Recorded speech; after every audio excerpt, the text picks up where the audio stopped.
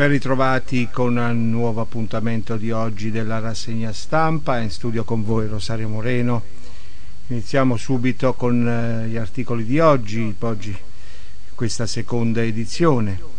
Coronavirus, mascherine pagate e mai consegnate, indaga anche Lugano, anche la giustizia svizzera si sta occupando eh, delle mascherine italiane pagate ma mai arrivate alle regioni che le avevano ordinate.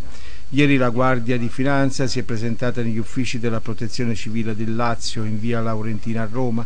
Intanto a Lugano il Ministero, il Ministero Pubblico del Canton Ticino sta aprendo un'indagine sulla Exor.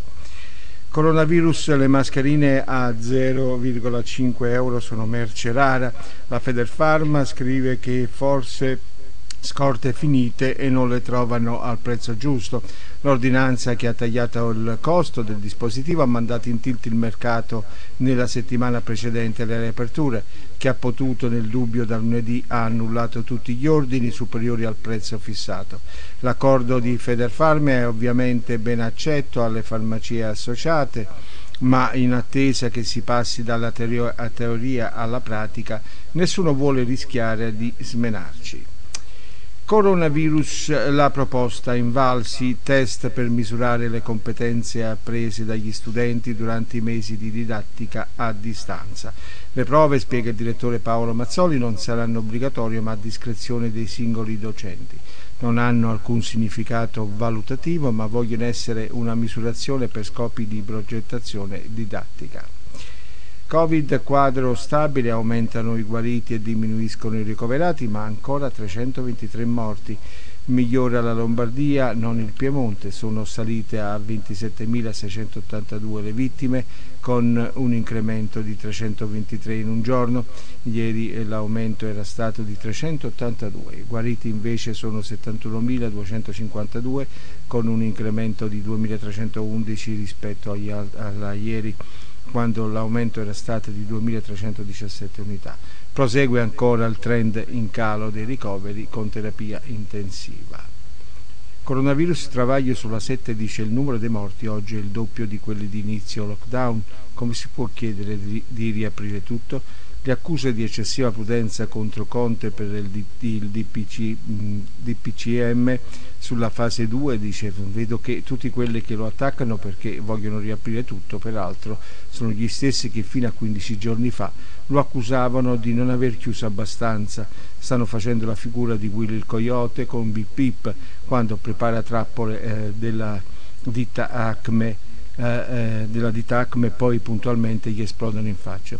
Così a otto e mezza sulla 7 insomma, il direttore del Fatto Quotidiano Marco Travaglia ha esordito nel suo commento sulle recenti polemiche relative al DPCM del Presidente del Consiglio per la fase 2.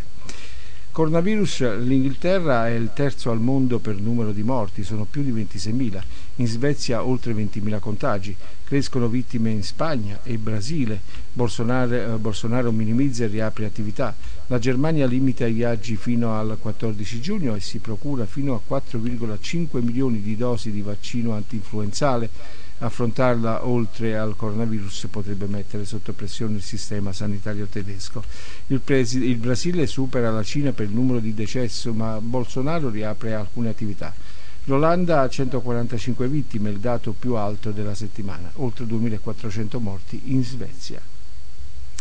Coronavirus, l'OMS scrive che allo studio un'eventuale correlazione con sindrome Kawasaki e la Svezia possibile esempio di convivenza col virus.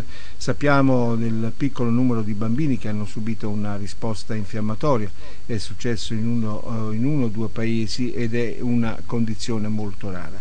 Ma stiamo esaminando la situazione insieme al nostro network di clinici, questo ha assicurato Maria Van Kerkove, responsabile tecnico per il coronavirus dell'organizzazione.